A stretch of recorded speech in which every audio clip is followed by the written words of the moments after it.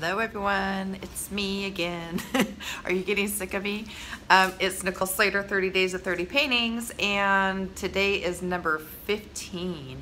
And number 15, so I got here this morning and I've been just catching up on paperwork and things that I needed to do that I've been putting off a little bit. And uh, 15, so 15, I'm thinking today I'm on this animal kick lately. I did some elephants yesterday. Loved doing that. That was so much fun. Um, I don't know. I might, I don't know, something to do with maybe animals again. I don't know. Um, I love goats. It would be kind of fun to do goats. You know, they're always on like a top of a barn or on top of a house or I've even seen them in trees before. So maybe something to do with goats. And if I don't do that, who knows? Um, stay tuned and we'll find out in a minute after I get settled in and think about what I want to do. Okay, bye.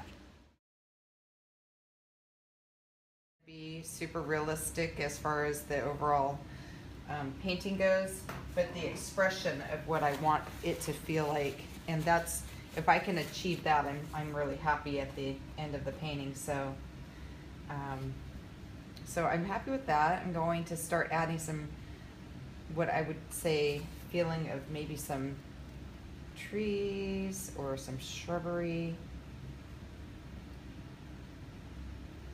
And my experience in the past, I don't know, if you haven't been here before, we, I talked a little bit about what I noticed is with the, with the idea of painting daily and having a painting done right away like I'm doing every day, um, it's harder to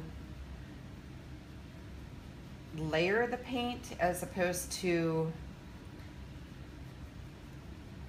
keeping it in certain areas. So in other words, when I layer the paint on top of each other and I'm not letting it dry in between, it gets a little muddy and I'm trying to avoid that today. And, and, and yesterday too, I avoided that, so that was good. So right now I'm just kind of establishing where I want kind of some greenery and I don't know, this is how I'm seeing it right now. So um,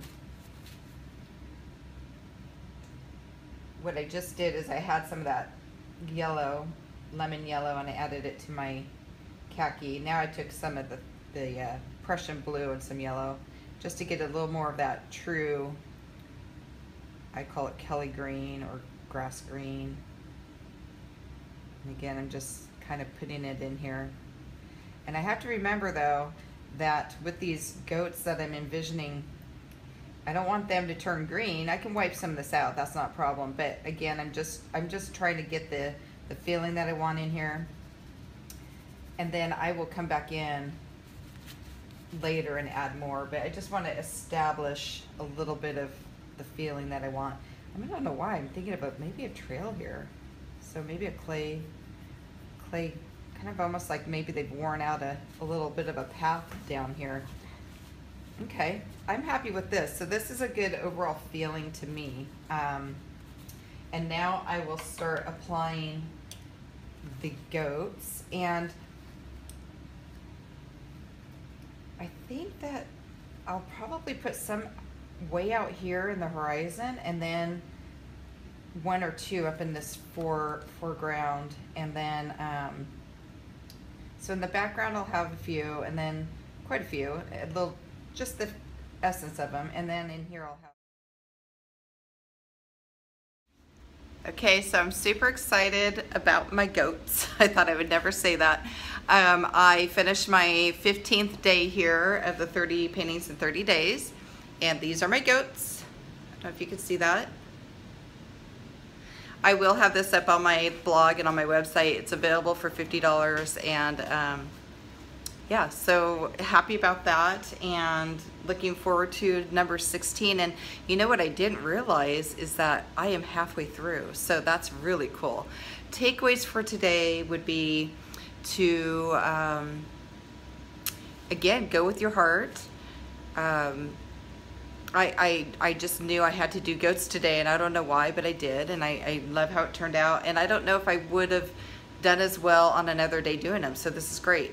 Um, I learned again that um, when I apply my thick paint that I need to be a little careful about um, mixing it in with the background color while it's still wet.